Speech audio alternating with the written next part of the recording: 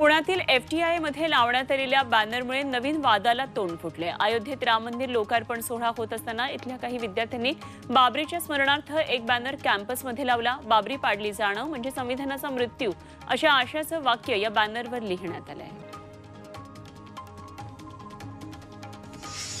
लाठी भरतीमध्ये गैरप्रकार झाल्याचा आरोप करत विद्यार्थ्यांनी नांदेडच्या जिल्हाधिकारी कार्यालयावर आक्रोश मोर्चा काढला. ऑनलाईन परीक्षा रद्द करून एमपीएससी तर्फे स्पर्धा परीक्षा घेण्यात याव्यात अशी मागणी त्यांनी केली. यासोबतच पंचावन्न हजार शिक्षकांच्या जागा रिक्त आहेत आणि त्यांची एकदाच शिक्षक भरती करावी अशी देखील विद्यार्थ्यांनी मागणी केली. आहे साताऱ्यामध्ये ईव्हीएम मशीनच्या विरोधात प्रतिकात्मक अंत्ययात्रा काढण्यात आली. यावेळी कार्यकर्त्यांनी जिल्हाधिकाऱ्यांना ईव्हीएम हटावचं निवेदन दिलं.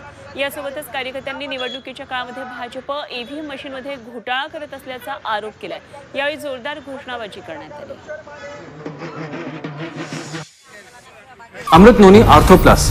ये एक प्रूवन फॉर्मूला है इसमें मौजूद नोनी फल के गुण और आयुर्वेदिक जड़ी बूटियां शरीर को जरूरी पोषक तत्व देने के साथ साथ हड्डियों और जोड़ों के घिसने उनमें होने वाले सूजन और दर्द को रोकने में मदद करता है। दर्द मुक्त जीवन के लिए Amrit noni ortho plus.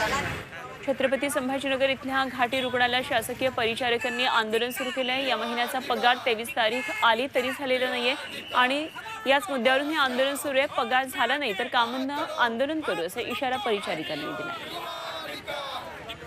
रायगडमध्ये कोळी बांधवांनी अलिबाग जिल्हाधिकारी कार्यालयावर धडक मोर्चा काढला. जनगणनेमध्ये कोळी समाजाची नोंद अनुसूचित जमातीमध्ये होते मात्र त्याचे जातीचे दाखले हे अवैध ठरवले जातात आणि या मुद्द्यावर कोळी समाज आक्रमक झाला